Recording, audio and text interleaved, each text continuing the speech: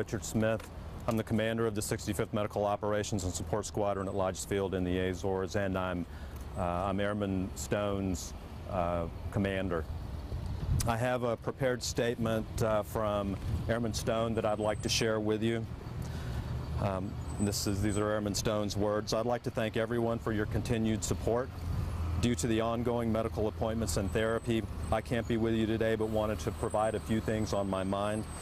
I am thankful for all of the medical care that I've been receiving, both here and in France. I have nothing but high praise for the occupational therapy staff at Landstuhl Regional Medical Center and the care and treatment that they've provided for my thumb. They've done an awesome job. I also want to thank Team Ramstein for the outstanding support and warm welcome that they gave us on our arrival and the continued support they're offering us. My home team at Lajes Field and my leadership there has been equally supportive, and I wanted to express my thanks to them and everyone in my Air Force chain of command. For the American and international audiences, I am humbled with the amount of attention this story has drawn. I think everyone in my situation would have done the same thing. It seemed the only option I had. I do know that the extensive Air Force medical training I've received provided me, uh, allowed me to provide first aid to a fellow passenger and potentially save his life, and for that I am grateful. I hear on the news he is stable and getting the continued medical attention that he needs. I wish him a speedy and full recovery. Finally, thank you to everyone who has reached out to wish me and my friends well and who have called us heroes.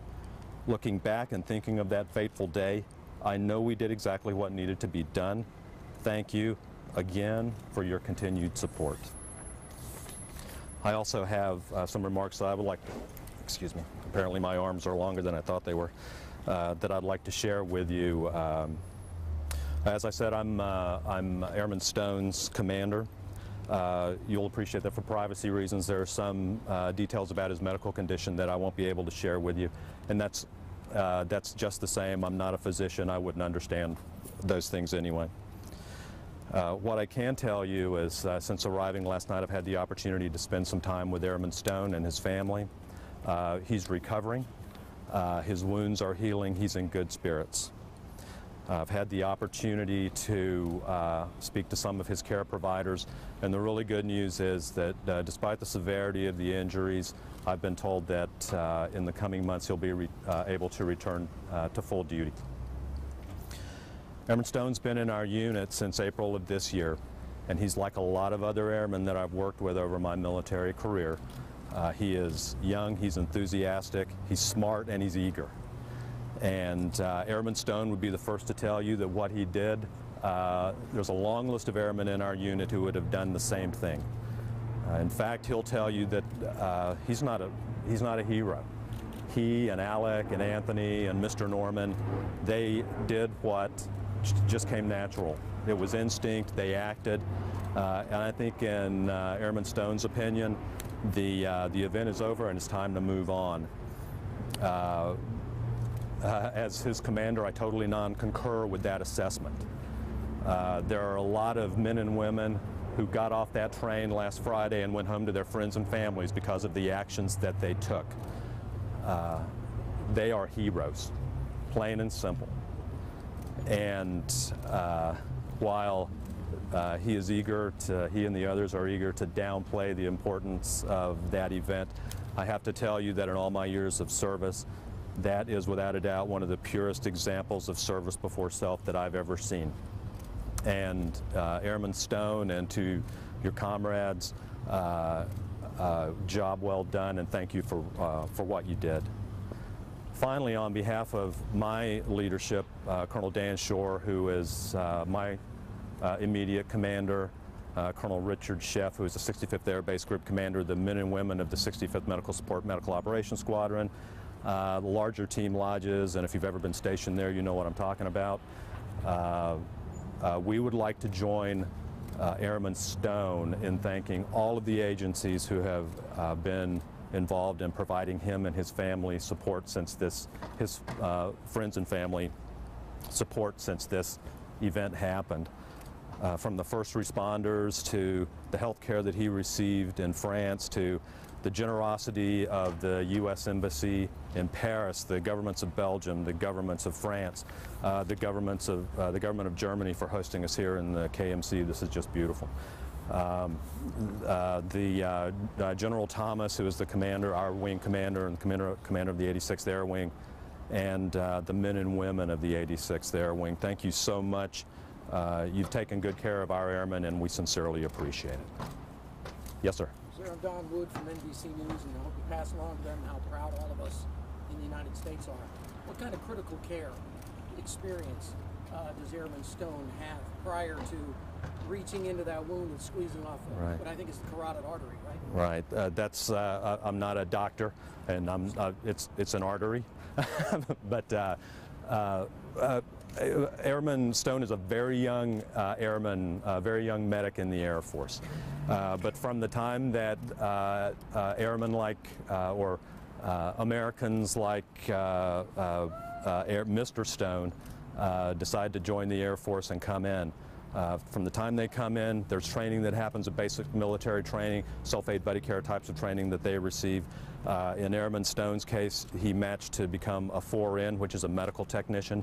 He goes off to a joint training program that's uh, located at uh, Fort Sam Houston and San Antonio, Texas.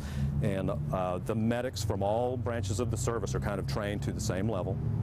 And then uh, at that point, they go off to their phase one training. And in uh, Airman Stone's case, he went to phase one, or I'm sorry, phase two training at uh, oh, Nellis Air Force Base in Nevada. And there, uh, he is rotated through all of the areas.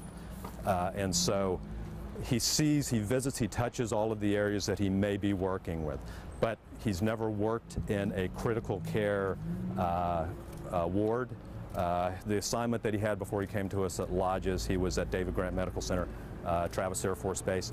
I believe he was in the pediatrics ward there. Uh, when he came to join us at Lajes, we put him in ambulance services. A- again, young, smart, eager, enthusiastic. He was a natural there. And doesn't that make his accomplishment even more remarkable?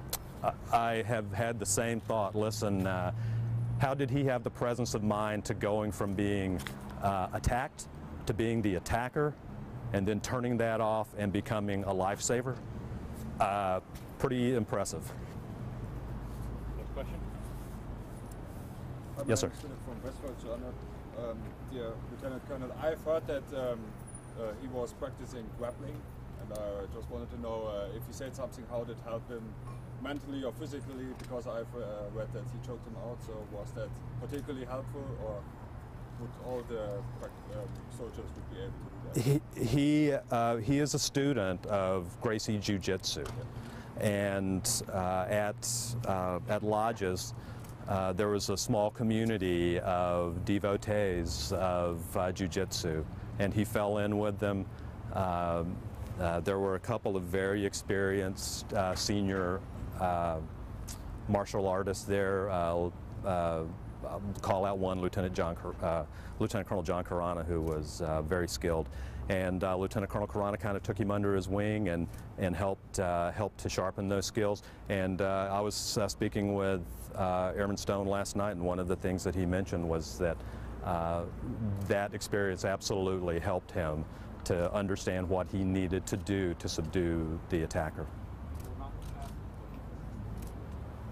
Yes, ma'am. Hi, sir. I'm Jennifer Svan with Stars and Stripes right here in Kaiserslautern. I'm wondering, um, is there any concern about um, Airman Stone's reintegration when the time comes back into his unit after everything he's gone through um, on the train, as well as all the attention and fame now that he has? Um, And also, if there's a timeline when that re- reintegration might occur. Yeah, we are uh, unsure about the timeline. It will all be driven by his medical condition. Um, reintegration medically and, of course, emotionally, it's a pretty traumatic uh, thing that, that they went through.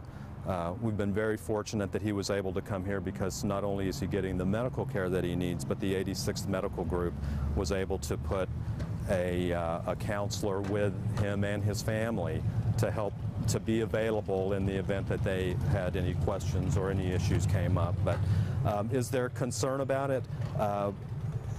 You know, I would like to say that uh, uh, this time tomorrow everything's going to be fine, and he and I are going to hop on an airplane and we're going to go back to Lajes and get back to work.